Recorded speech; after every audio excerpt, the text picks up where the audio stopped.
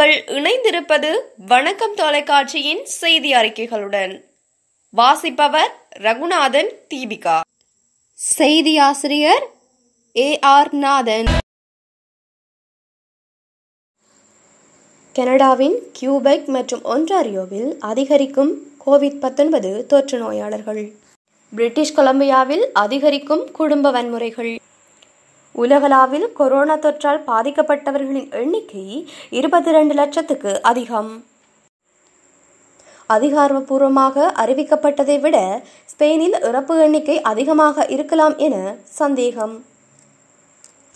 சீனாவிற்கு மனப்பூர்வமாக நன்றி தெரிவிக்கும் இலங்கை ஜனாதிபதி.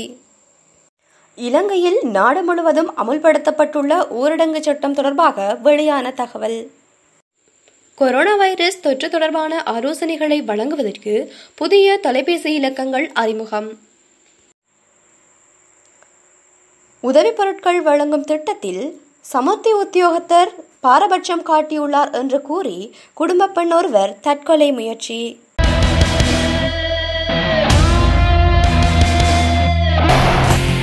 இன்டர்நேஷனல் காகோ உங்கள் பெருமதிமிக்க வீட்டு தளபாடங்கள் மற்றும் அனைத்து பொருட்களையும் உலகெங்கும் ஏற்றி இறக்குவதற்கான முழுமையான சேவைகளை வசதியுடனும் பாதுகாப்பாகவும் குறைந்த செலவில் நிறைந்த திருப்தியுடன் பெற்றுத்தரும் ஒரே தமிழர் நிறுவனம் பிரிஸ்க் இன்டர்நேஷனல் காகோ அழையுங்கள் A R Nathan four one six three two one zero four zero zero Brisk, may help you? www.briskcargo.com கனடாவின் ஒன்டாரியோ மற்றும் கியூபெக்கிலே அதிகளவான கொரோனா தொற்று நோயாளர்கள் உறுதி செய்யப்பட்டுள்ளனர். ஒன்டாரியோவை பொறுத்தவரையில் ஐநூற்று அறுபத்து நான்கு புதிய நோயாளர்களையும் மொத்தமாக நானூற்று எழுபத்து எட்டு இறப்புகளையும் பதிவு செய்துள்ளது. அத்துடன் இருநூற்று நாற்பத்தைந்து நோயாளிகள் தீவிர சிகிச்சை பிரிவில் அனுமதிக்கப்பட்டுள்ளனர். இதுவரை ஒன்டாரியோவில் ஒன்பதாயிரத்து ஐநூற்று இருபத்தைந்து நோயாளர்கள் பதிவு செய்யப்பட்டுள்ளனர். கியூபைக்கை பொறுத்தவரையில் ஒன்பதாயிரத்து நாற்பத்தி ஒரு புதிய நோயாளிகளும் ஐம்பத்தெட்டு புதிய இறப்புகளும் பதிவு செய்யப்பட்டுள்ளது. அத்துடன் இதுவரையில் மாகாணத்தில் பதினாறாயிரத்து எழுநூற்று தொன்னூற்றெட்டு நோயாளர்களும் அறுநூற்று எண்பத்து எட்டு இறப்புகளும் பதிவு செய்யப்பட்டுள்ளது. இவற்றில் பெரும்பாலான இறப்புகள் வயோதிப இல்லங்களிலே பதிவு செய்யப்பட்டுள்ளது என்று சுட்டிக்காட்டப்பட்டுள்ளது. கனடாவில் தற்போது ஆயிரத்து எழுநூற்று பதினாலு புதிய தொற்றாளர்கள் இனங்காணப்பட்டுள்ளதுடன் ஆயிரத்து முன்னூற்று பத்து இறப்புகளையும் பதிவு செய்துள்ளது. இதுவரையில் தேசிய ரீதியாக முப்பத்தோராயிரத்து எண்ணூற்று ஒன்பது தொற்று நோயாளர்கள் இனங்காணப்பட்டுள்ளனர் என்று குறிப்பிடப்பட்டுள்ளது. பிரிட்டிஷ் கொலம்பியாவில் பெண்கள் மற்றும் குழந்தைகளின் உரிமைகளுக்கான சட்டத்தரணிகள் கோவிட் பத்தொன்பது தொற்று நோய்களின் மத்தியிலும் குடும்ப வன்முறைகள் அதிகரித்து வருவதாக சுட்டிக்காட்டியுள்ளனர். இது தொடர்பாக பிரிட்டிஷ் கொலம்பியாவின் மனித உரிமை ஆணையர் கசாரி கோவேந்தர் தெரிவிக்கையில் சமீபத்திய வாரங்களில் தினசரி வன்முறைகள் தொடர்பாக அழைப்புகளில் முப்பது சதவீதம் அதிகரிப்பு இருப்பதாக வான்கூவரின் மகளிர் ஆதரவு சங்கம் தெரிவித்துள்ளதாக கூறியுள்ளார். உலகளாவில் கொரோனா தொற்றால் பாதிக்கப்பட்டவர்களின் எண்ணிக்கை இருபத்தி இரண்டு லட்சத்து அறுபத்து மூன்றாயிரத்து ஐம்பத்து இரண்டாக அதிகரித்துள்ளது. அத்துடன் இந்த தொற்றால் உயிரிழந்தவர்களின் எண்ணிக்கை ஒரு லட்சத்து ஐம்பத்து நான்காயிரத்து எண்ணூற்று இருபத்தி ஏழாக அதிகரித்துள்ளது. அமெரிக்காவில் மாத்திரம் கொரோனா தொற்றால் பாதிக்கப்பட்டவர்களின் எண்ணிக்கை ஏழு லட்சத்து பத்தாயிரத்து இருநூற்றி எழுபத்தி இரண்டாக அதிகரித்து ஸ்பெயினில் இறப்பு விகிதங்கள் எதிர்பார்த்ததை விட அதிகமாக இருக்கலாம் என்பது தொடர்பாக முன்வைக்கப்பட்ட ஆதாரங்களுக்கு மத்தியில் இந்த வாரம் ஸ்பெயினில் கொரோனா வைரஸ் இறப்பு எண்ணிக்கையை குறைத்து மதிப்பிடுவார்களோ என்ற அச்சம் கடுமையாக உயர்ந்துள்ளது. வியாழக்கிழமை வெளியான தகவல்களின் அடிப்படையில் ஐரோப்பாவை பொறுத்தவரை ஸ்பெயினில் ஏற்கனவே ஒரு லட்சத்து எண்பத்தெட்டாயிரத்து அறுபத்தெட்டு கோவிட் பத்தொன்பது தொற்று நோயாளர்கள் பதிவு செய்யப்பட்டுள்ளனர். இத்தாலிக்கு அடுத்தபடியாக பத்தொன்பதாயிரத்து நானூற்று எழுபத்தெட்டு இறப்புகளுடன் ஐரோப்பாவின் மிக அதிகமான இறப்பு எண்ணிக்கையை ஸ்பெயின் பதிவு செய்துள்ளது. ஸ்பெயினின் மத்திய அரசு முன்னர் வெளியிட்ட புள்ளி விவரங்களுக்கான அளவுகோல்களை உலக சுகாதார அமைப்பின் வழிகாட்டுதல்களை பின்பற்றுவதை பாதுகாத்துள்ள நிலையில் பல ஊடக அறிக்கைகள் மற்றும் எதிர்க்கட்சிகள் உண்மையான எண்ணிக்கை மிகவும் அதிகமாக இருக்கலாம் என்று பரிந்துரைத்துள்ளன. இது தொடர்பாக ஸ்பெயினில் எல் கான்பிடென்ஷியல் என்ற வலைத்தளத்தில் முக்கிய ஐந்து பிராந்தியங்களை கோரியுள்ளது. அவற்றில் கட்டலேனியா மற்றும் மேட்ரிட் கோவிட் பத்தொன்பதால் அதிகம் பாதிக்கப்பட்டுள்ளதுடன் மத்திய அரசுக்கு அனுப்பப்பட்ட புதுப்பிப்புகளில் மருத்துவமனைகளுக்கு வெளியே பதிவான முக்கியமாக உறுதிப்படுத்தப்பட்ட கொரோனா தொற்று நோயாளர்களின் இறப்புகளை கூட கணக்கிடவில்லை என சுட்டிக்காட்டியுள்ளது. ஜனாதிபதி கோத்தாபய ராஜபக்ச சீனாவிற்கு தனது நன்றிகளை தெரிவித்துள்ளார். கொரோனா வைரஸ் தொற்று பரவுதலை தடுத்து நிறுத்துவதற்கு சீனா இதுவரையில் வழங்கி வரும் ஒத்துழைப்பிற்காக அவர் இவ்வாறு நன்றி பாராட்டியுள்ளார். சீனாவால் அனுப்பி வைக்கப்பட்ட மருந்து பொருட்கள் மற்றும் மருத்துவ உபகரணங்கள் நேற்றைய தினம் கிடைக்கப்பெற்றதாக தெரிவித்துள்ளார். சீன அரசாங்கத்தினால் இலங்கைக்கு வழங்கப்பட்ட உதவிகளுக்காக மெய்யான நன்றி பாராட்டுதல்களை தெரிவித்துக் கொள்வதாக குறிப்பிட்டுள்ளார். தனது முகநூல் கணக்கில் அவர் சீனாவிற்கு நன்றி பாராட்டி பதிவொன்றை இட்டுள்ளார். சுமார் ஏழு லட்சம் அமெரிக்க டாலர்கள் பெறுமதியான பொருட்களை சீனா இலங்கைக்கு அன்பளிப்பாக வழங்கியுள்ளமை குறிப்பிடத்தக்கது.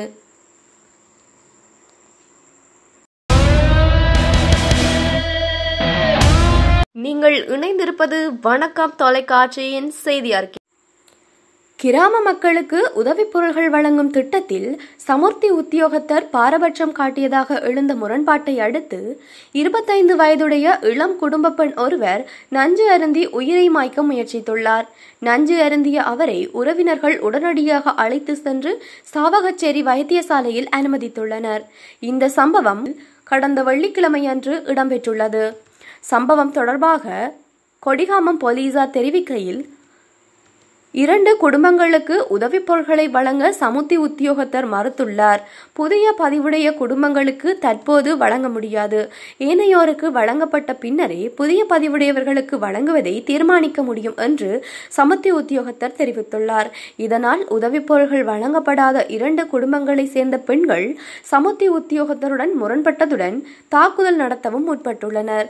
சம்பவம் தொடர்பில் கொடிகாமம் போலீசாருக்கு சமுத்தி உத்தியோகத்தால் முறைப்பாடு வழங்கப்பட்டுள்ளது. எனினும் தற்போதைய சூழ்நிலையை கருத்தில் கொண்டு இரு தரப்பினரையும் அழைத்து இணக்கமாக செல்லுமாறு போலீஸ் நிலைய பொறுப்பதிகாரியால் அறிவுறுத்தப்பட்டு அனுப்பி வைக்கப்பட்டுள்ளனர்.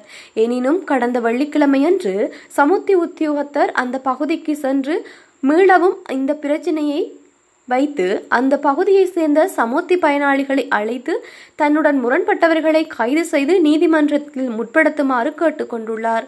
சம்பவ இடத்திற்கு சென்ற போலீசார் தற்போதைய சூழ்நிலையில் மக்களை ஒன்று கூட்ட வேண்டாம் என்று சமூர்த்தி உத்தியோகத்தரை கேட்டுக்கொண்டுள்ளனர். எனினும் அவர் உடன்பட மறுத்துள்ளார். இதற்கு இடையில் உத்தியோகத்தர் தனக்கு அவமானத்தை ஏற்படுத்துகிறார் என்று குற்றம் சாட்டிய இருபத்து ஐந்து வயதுடைய குடும்ப பெண் நஞ்சு அருந்தி உயிரை மாய்க்க முற்பட்டுள்ளார். அவரை உறவினர்கள் உடனடியாக அழைத்து சென்று சாவகச்சேரி வைத்தியசாலையில் அனுமதித்துள்ளனர் என்று போலீசார் தெரிவித்தனர். தற்கால நிலைமையில் உதவிப்போர்கள் வழங்கப்படும் போது அனைவருக்கும் அவை சென்றடைய வேண்டும். இது தொடர்பில் அதிகாரிகள் கவனம் செலுத்த வேண்டும் என்பது அனைவரதும் எதிர்பார்ப்பாகும்.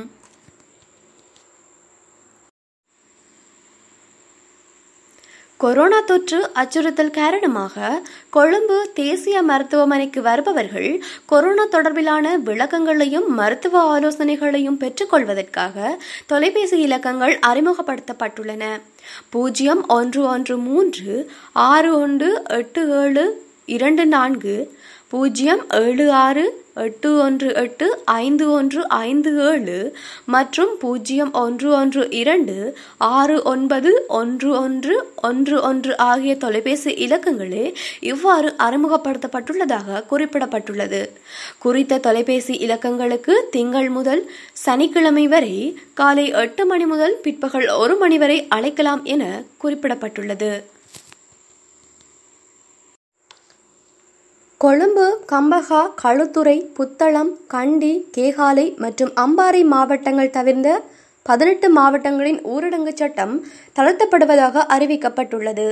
அதன்படி குறித்த பதினெட்டு மாவட்டங்களிலும் எதிர்வரும் இருபதாம் திகதி காலை ஐந்து மணிக்கு ஊரடங்கு சட்டம் தளர்த்தப்பட்டு அன்று இரவு எட்டு மணிக்கு மீள அமுல்படுத்தப்படும். ஜனாதிபதி ஊடகப் பிரிவு விடுத்துள்ள ஊடக அறிக்கையில் இந்த விடயம் தெரிவிக்கப்பட்டுள்ளது.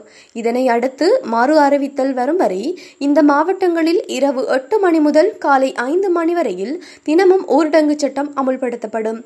கண்டி கேகாலை மற்றும் அம்பாறை மாவட்டங்களில் அலவத்துக்கொட அக்குரணை வரக்காப்பொல மற்றும் அக்கரைப்பற்று காவல்துறை பிரிவுகளில் ஊரடங்கு சட்டம் தொடர்ந்தும் அமுலில் இருக்கும். இந்த மாவட்டங்கள் உட்பட ஏனைய காவல்துறை பிரிவுகளில் ஊரடங்கு சட்டம் ஏப்ரல் மாதம் இருபதாம் திகதி முதல் தினமும் காலை ஐந்து மணிக்கு தளர்த்தப்பட்டு இரவு எட்டு மணிக்கு மீள அமுல்படுத்தப்படும். கொழும்பு கம்பகா களுத்துறை மற்றும் புத்தளம் மாவட்டங்களின் சில காவல்துறை பிரிவுகள் தவிர்ந்த ஏனைய காவல்துறை பிரிவுகளில் எதிர்வரும் இருபத்தி இரண்டாம் திகதி காலை ஐந்து மணிக்கு ஊரடங்கு சட்டம் தளர்த்தப்பட்டு அன்று இரவு எட்டு மணிக்கு மீள அமல்படுத்தப்படும். இதன் அடிப்படையில் கொழும்பு மாவட்டத்தின் கொட்டாஞ்சேனை கிராண்ட்பாஸ் பம்பலப்பட்டி வாழைத்தோட்டம் மருதானை கொத்தட்டுவ முல்லேரியா வெள்ளம்பிட்டிய கல்கிசை தெஹிவல மற்றும் ஹொஹுவலை காவல்துறை பிரிவுகளில் தொடர்ந்தும் ஊரடங்கு சட்டம் அமலில் இருக்கும். கம்பகா மாவட்டத்தில் ஜாயல கொச்சிக்கடை மற்றும் சீத்துவ காவல்துறை பிரிவுகளில் ஊரடங்கு சட்டம் தொடர்ந்தும் அமலில் இருக்கும். புத்தளம் மாவட்டத்தில் புத்தளம் மாரவில மற்றும் வெண்ணப்புவ காவல்துறை பிரிவுக்குட்பட்ட பகுதிகளில் ஊரடங்கு சட்டம் தொடர்ந்தும் அமலில் இருக்கும் என தெரிவிக்கப்பட்டுள்ளது. அத்துடன் களுத்துறை மாவட்டத்தில் பண்டாரகம பயாகல பேருவளை மற்றும் அலுத்கம காவல்துறை பிரிவுகளுக்கு உட்பட்ட பகுதிகளில் ஊரடங்கு சட்டம் தொடர்ந்தும் அமலில் இருக்கும் என அறிவிக்கப்பட்டுள்ளது. இத்துடன் வணக்கம் தொலைக்காட்சியின் செய்தி அறிக்கைகள் நிறைவு பெறுகின்றன.